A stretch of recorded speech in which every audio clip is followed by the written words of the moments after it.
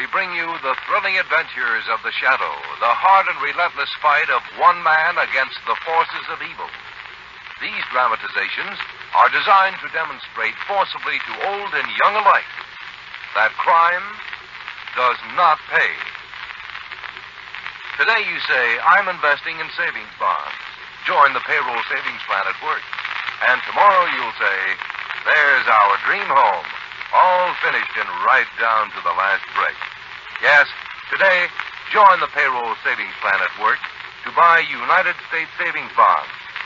Whatever you want in the future, guarantee it now with savings bonds. Join the payroll savings plan for your work. Or, if you're self-employed, buy a bond a month at your bank. Don't delay. Your own future, your country's future can't wait. Buy United States savings bonds. And now, the shadow. The shadow, who aids the forces of law and order, is in reality Lamont Cranston, wealthy young man about town. Years ago in the Orient, Cranston learned a strange and mysterious secret the hypnotic power to cloud men's minds so they cannot see him. Cranston's friend and companion, the lovely Margot Lane, is the only person who knows to whom the voice of the invisible shadow belongs. Today's drama Collectors of Death.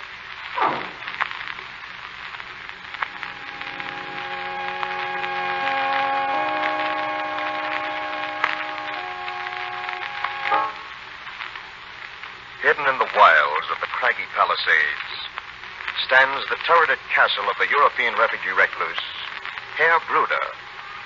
Here in solitude, he gloats over the priceless treasures he has smuggled out of Europe. Tonight, as Bruder finishes his dinner, a sudden mountain storm beats at the windows of the castle. You will have your coffee in the study, Herr Bruder? Ah, yeah, yeah, in the, in the study. Emil, Emil, why are you not using my best china as I ordered? But we are, Bruder. You see the design? Ah, Emil, my eyes are weak. I cannot see even from close. But with my fingertips, I know this is not my best china. Why? But gnädige Herr must be mistaken. We would not serve him with anybody's best china. It is as you have ordered. Ah, sure. You are sure, Emil. Of course. Ah, perhaps I've been too hasty. Ah, too hasty. come, come. I take my coffee in the study.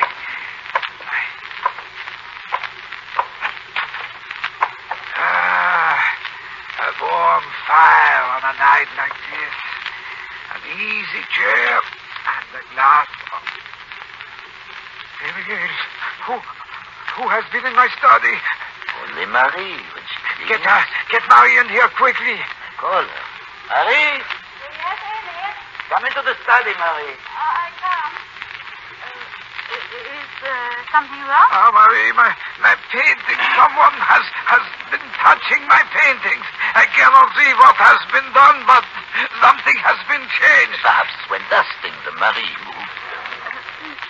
Yes, uh, yes, that's it, Herr Bruder. Uh, When uh, dusting them, perhaps I moved Oh, them. no. My, my Corot. Where is my Corot? Above the desk, Herr Bruder. Ah, on, on my Renoir. Above the fireplace, as always. Oh, of the fact. Oh, I must have been mistaken. These dim mold eyes, they play me tricks. It uh, distresses us, Herr Bruder, to think you do not trust us. Nonsense, Emil. It is only you that I do trust, eh? That- is why I sent to the old country for you, to, to protect me from, from thieves who would rob me, steal my treasures. Thieves, Bruder? Yeah, Emil, thieves, American thieves. Oh, oh you, you must help me, you and Marie. You must keep them from robbing me. I... Rest easy, Herr Bruder. Marie and I will do everything to make sure you are not robbed by Americans.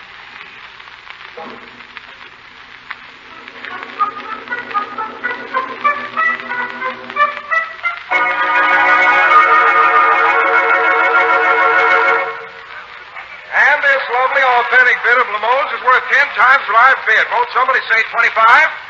Twenty-five. Margot, don't be silly. That's no more Limoges than I am Houdini. Lamont, I just can't help myself at all. Is that all? I'm off at 25, and this beats the great deal. Forty. Margot, you can buy those things by the case lot for that. Silly Lamont. What would I do with a case of them? Fifty. I'm off at 50. We'll make it 75. Get hold of yourself, Margot. You can't do it. It would be wrong. Seventy-five. It's going for 75. Going? It's going once, going twice. Sold to the lady for $75. Will you step this way, please, miss? Yes, of course. Well, here you go, lady. Beautiful thing if I do say so. Shall I have it wrapped? Oh, Father, it'll be easier to dispose of if it isn't. Uh, very funny, very funny, I'm sure. 75 even. Thank you. Here you are, miss. I'll take it, Margot. With any luck, I might drop it. Oh, stop stewing, Lamont. Just the same, I think we'd better get out of here before the fever comes on me again and I buy the Taj Mahal. Well, I must admit it's a pretty good imitation. Wait a minute. Take a look at this thing, Margot. I have. Seventy-five dollars worth. Margot, this is a real Limoges piece. It's worth ten times seventy-five dollars. That's impossible. Why, in these places they That's never... just the point. These places specialize in fakes and imitations, but this is the real article. How can it be? I don't know. I do know this. A few weeks ago, I was reading about a very famous collection of antiques in objets d'art. The Bruder collection. And? I'm almost certain a piece like this was described in that article. Whatever his name is, probably decided to break up his collection or turn it into cash. And sell it for about one-tenth its value? Oh, no. Well, then what? Somebody else is liquidating his collection for him. You mean stealing it? I don't know yet. There are three well-known fencers who specialize in antiques. One of them, a Mr. Otto, might be ambitious enough to want to buy the Bruder collection.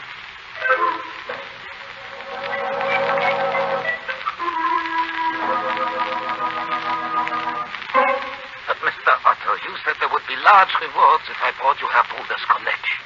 For larger pieces, yes, I shall pay you well, my dear friend. But the larger pieces we dare not touch, Mr. Otto. It seems dangerous to pick up these small pieces. Knickknacks, my dear girl, knickknacks. How about the piece of Limoges that you and Emil sold at the auction? Why didn't you bring it here? You know about that? It's my business to know about everything, everything. I thought to get much money at the auction. So instead of bringing it here, you part with it for a paltry fifty dollars. And to me, to Mr. Otto, you bring this collection of junk. You're not very bright, sir. I told you, Emil, we should not be doing this. We will be caught. It is not worth Quiet, Marie. All right, Mr. Otto. We will take your offer this time. Yes, I knew that an intelligent pair of uh, collectors such as you would see it my way. Here are, my dear friend. The price agreed, I believe. Thank you. Come, Emil. The old man will be missing us. Au revoir, my dear friends. Au revoir. Looky. Looky. Right here, Mr. Otto. You heard, Looky? Yeah. All of them. They must not be permitted to uh, change their minds. You understand? Yeah. Uh, There's a fortune in the Bruder collection, Looky. A fortune. It would be short-sighted to let them falter now. Very short-sighted.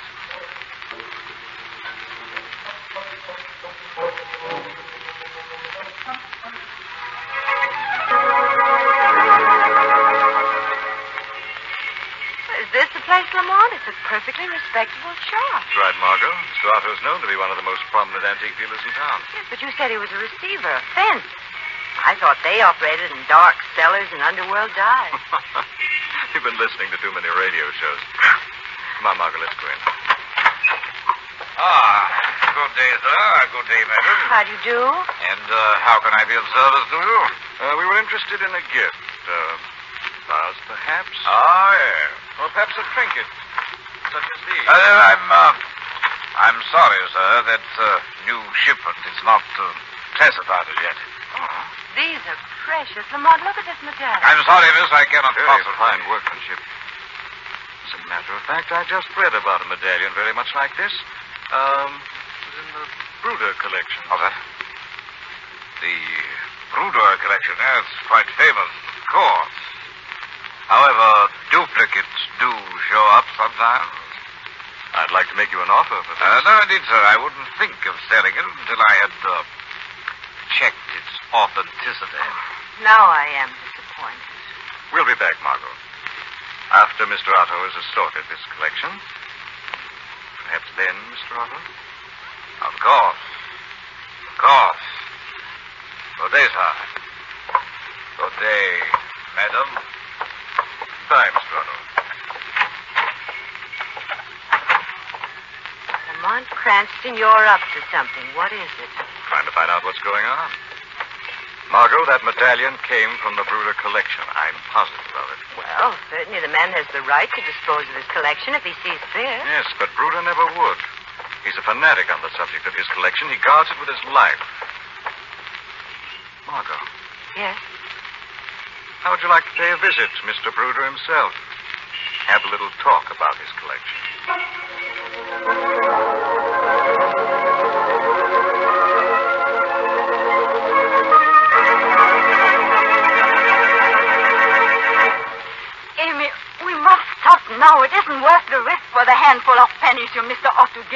Gives us. Marie, it's so easy. A few pieces every night.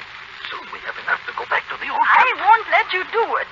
I tell you already the old man is beginning to wonder. Soon he start to check what's in. Maybe just one more. A clean sweep. We take everything and leave. Good idea, Emil. Who are you? Name's Lukey. Came to keep you from making a mistake, a bad mistake. I don't understand. Mr. Otto sent me. He want you to stay healthy. If you don't go through with your deal with him, you won't. We can't do it. The old man is suspicious now. You had a good idea, Emil. One big job. Clean it all up. But we do it tonight. No, tell him no, Emil.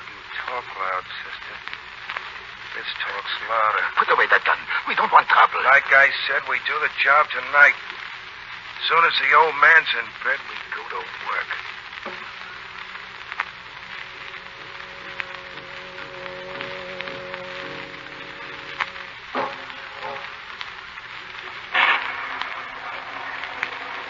Ah, ah, again it storms.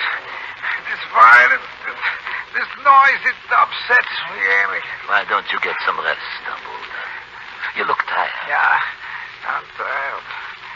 My milk. Now he has one, my milk. Here it is, Herr Bruder. Oh, good, good. So I take it upstairs. Then I sleep. You to the stairs, Herr Bruder. You need not help me up the stairs. I'm not that feeble yet. Good night, my dear friend.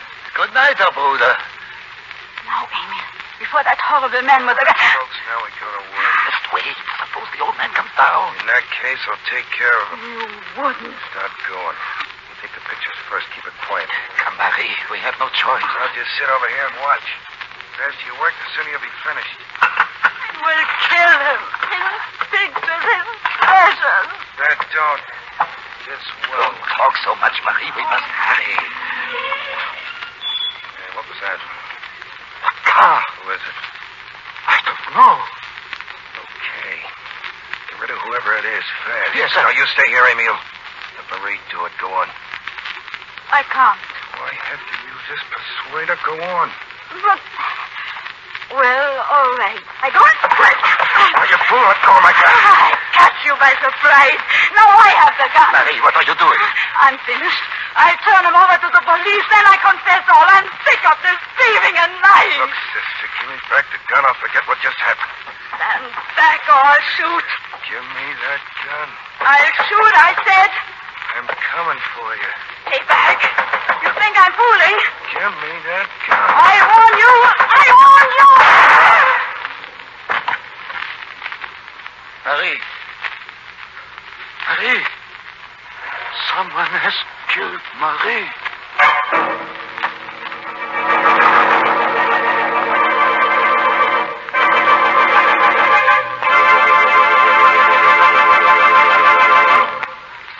We'll return to the shadow in just a minute. How does a child grow, mentally and morally, I mean? Does the child develop into the citizen the way the infant develops into the man just by the passage of time? Of course not. Or there would not be so many faulty citizens. We all know that, of course. Yet I wonder how many of us tend to take the line of least effort. To let our children, like Topsy, just grow. Counting perhaps on the schools to teach our youngsters love for their country and that essential element of good citizenship, good sportsmanship. Of course, the schools do a great deal, but they simply cannot do it alone. Rather, it is every parent's duty to teach his children what it means to be a good American. Not by preaching, for that is like water off the proverbial duck's back, but by precept, by example. After all, how can we expect to develop a new generation of unprejudiced Americans if we at home let them hear us falling into those same tired old errors of referring to any group of our fellow Americans as if they were all alike, all good, all bad, all smart, all stupid, or all anything?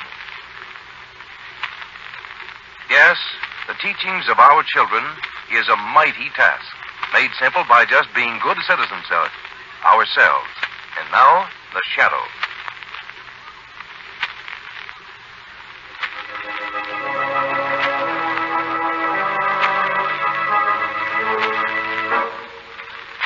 Cranston and Margot Lane are on the trail of a gang dealing in stolen art treasures. They pay a visit at the castle like home of an eccentric refugee collector.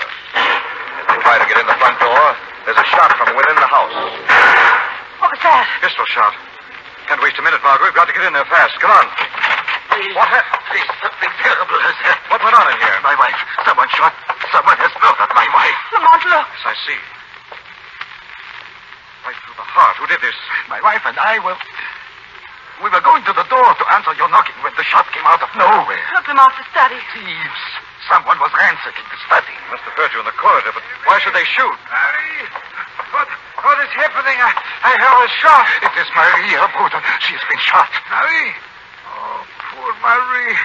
Who did this burglary? Yes, thieves, Bruder. How my treasures? They, they've robbed my treasures. Oh, they were interrupted. Nothing is gone. Ah, oh, good, good. Uh, these people, who are they? My name is Cranston. This is Miss Lane. We came out here to see if we could help you. Uh, we have need of help. Emil, Emil, there's nothing missing. You're sure? Yes, Bruder. Good, good. I was afraid. Oh, oh, I, I must, I must go rest. This excitement. Before you go, Mr. Bruder, were you alone upstairs? Yeah, why? It seems quite obvious that the bullet that killed Marie was fired from above. The line of the bullet is downward. I, oh, I, I, I do not understand. I, I saw no one. They may have escaped while mein Herr was arising. Herr Bruder's eyes are not very good, Mr. Cranston. I, I must get to bed. I, I, I cannot stand this excitement. Could I help you, Mr. Bruder? Better let Emil do that, Margot. think you and I should attend to notifying the police. Come, Herr Bruder. I will be right down, Mr. Cranston. What do you think, Lamont? I think the shadow had better have a talk with Emil when he comes down, Margot. I want you to make certain Mr. Bruder doesn't leave his room.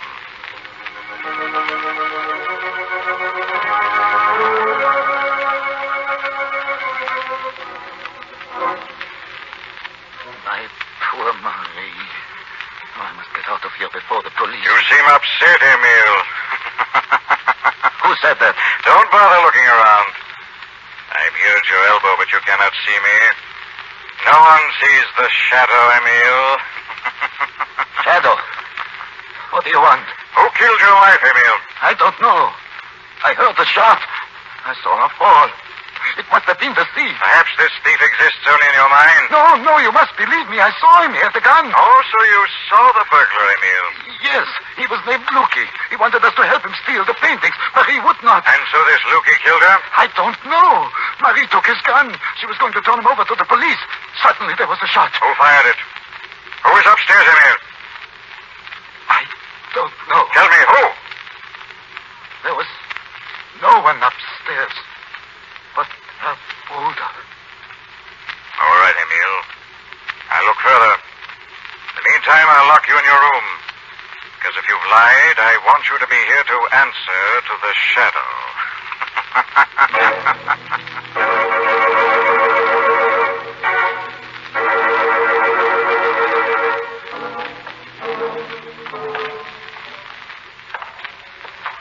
These huge, weird cellars under the house. What do you suppose they were used for, Lamont? Storage. Wilds, the owners probably had to store enough food for a whole winter in the old days. I still don't see what we're doing down here. Looking for some evidence of the man Lukey that Emil swears held a gun on him and Marie. He may be gone by now. They think so. You're sure the old man can't get out of his room? Positive. Here's the only key to his room. It's about a hundred foot drop from the window right over a cliff. Good. Well, I don't see anything down here. Wait a minute. Turn that flash down. Oh, what do you see? Here, a set of footprints in the dust. Leading this way. But where do they go? They stop right at this wall. That's interesting. Hmm. It's just as I thought. I'll find the catch on this section. Here it is. What is it? Old refrigerating chamber built under the houses in the old days, usually with a hidden door. Stand back, Margot. Lamont, look! Good Lord! Is he dead, Lamont? Yes, Margot, he's dead. Who is it? Lamont, who is it? Mr. Bruder. Brute? But it can't be. I just left him. He was locked in his room. It's Bruder, all right. There's no doubt in the world about it. But it. it can't be, Lamont. It can't be. Easy, Margot. Hmm? What is it? Margot, I want you go upstairs to one of the guest rooms, lock yourself in, and don't come out for anybody until I call you. You think I'm in danger? I think that the man behind this won't hesitate a moment to commit another murder. And I don't want you to be the victim.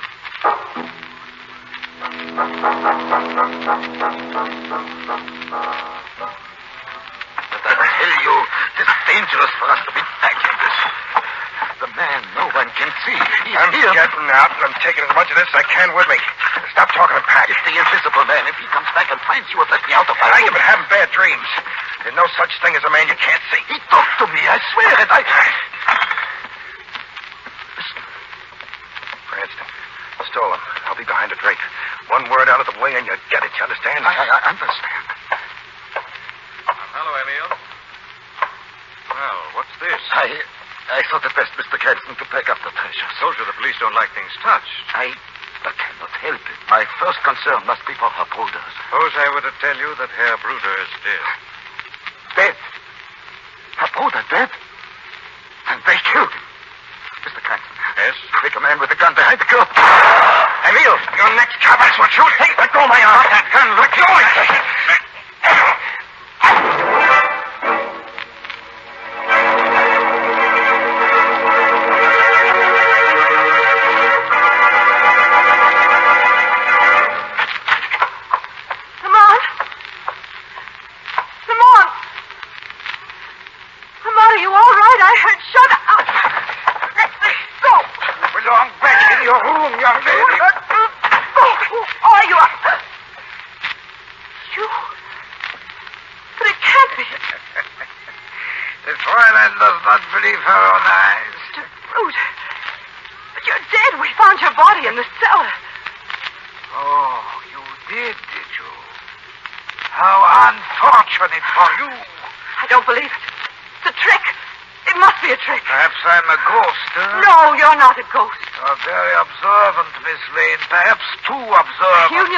On, didn't you, Mr. Bruder? The thieves and the murder. Perhaps. But why? Why should you let your treasures be stolen? Perhaps I wanted them stolen. Perhaps you did.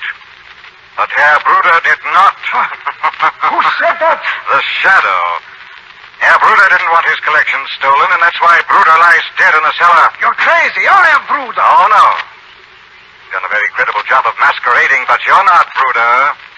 Are you, Otto? Otto. That's ridiculous. It was ridiculous for you to think you could get away with it. You realized no one knew Bruder by sight. You thought you could easily impersonate him, didn't you? I don't know what you're talking about. I'll tell you. You wanted the Bruder collection. Bruder wouldn't sell. So you killed him and hid his body in the cellar. You started to loot the place, and then a complication set in. The servants Bruder had sent to Europe for arrived. You realized they didn't know Bruder by sight, so you carried on the masquerade. Gave you the inspiration for the whole plot. Lies, all lies. Instead of looting the collection yourself, you let Emil and Marie steal it piece by piece and sell it to you as Mr. Otto for a fraction of its value. Why? Why should I do that? Because it gave you a victim on which you could pin the murder of Bruder. It gave you the fabulous collection at a ridiculous price, and it gave you two ready-made fall guys for the thievery. Very well. Everything you say is true. I am Mr. Otto. But you won't live to tell the story to anyone. I'll see to that. You're counting on your bodyguard, Lukey? Looky. Looky. Looky. Where is he? In the study, securely tied up for the police. I'm getting out. Don't try to stop me either of you. Shadow, he's getting away. He won't get very far. Listen. Open the name of the law. Mr. Otto walked right into the hands of a welcoming committee from the police.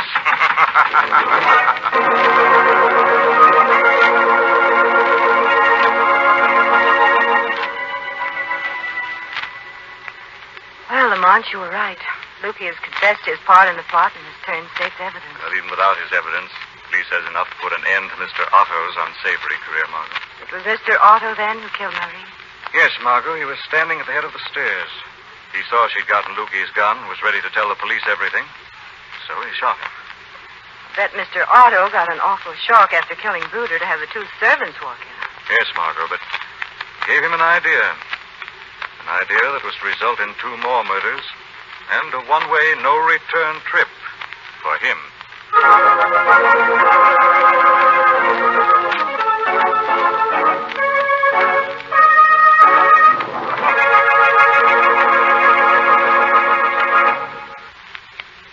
Is this a question you've been wanting to ask about heart disease? Are any heart diseases curable? Part of the answer is yes. There are certain types of heart disease which can be cured through surgery, others through drugs. But there is still much to be learned about heart diseases and the causes of rheumatic fever, high blood pressure, and hardening of the arteries. That's why the American Heart Association needs your help now to carry on urgently needed research and educational programs that will help combat this great enemy to our public health. For, in spite of medical progress, heart diseases still take one American life every minute. Give and give generously to your local heart association or to the American Heart Association, Box 550, New York City. Once again, The Shadow.